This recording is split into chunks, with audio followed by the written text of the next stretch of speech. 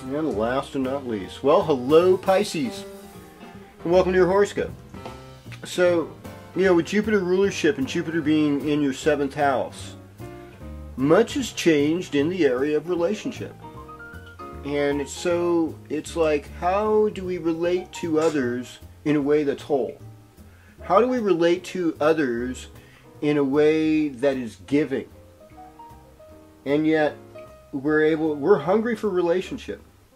It's interesting, I gave a reading to a friend the other day who has, you know, Jupiter placement in, in the seventh house, actually. oh, I'm even more familiar with this relationship. when Jupiter is like in a natal chart in somebody's seventh house, you know, in Vedic astrology, we say that they're married to that. They're married to that planet. And I'm like, yeah, I get that. Um, so there's expectations because, you know, Jupiter is lord to the gurus, advisor to the gods. It means like highest, highest information, the most prestigious wealth, the, um, the top of everything. And it's also how we find happiness and joy and spiritual enlightenment. And you want that is to be shared. And so in any relationship we have to make space. In a lot of ways Rahu is like air.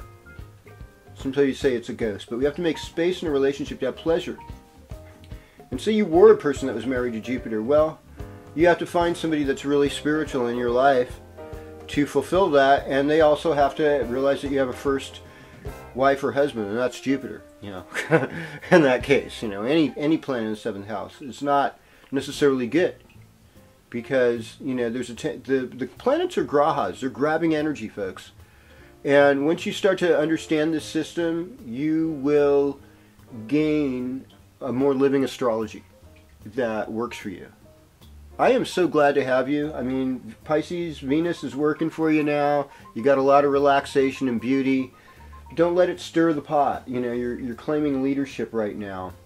I'm looking forward to being with all of you next week when we do this again on The Planetary Persuader with Kozmic Kev. Yay!